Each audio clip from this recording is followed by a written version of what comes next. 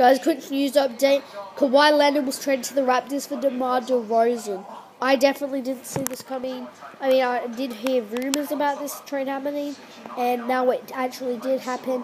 So, the Raptors are getting Kawhi and Danny Green, and the Spurs are getting Jakob Poeltl and DeMar DeRozan.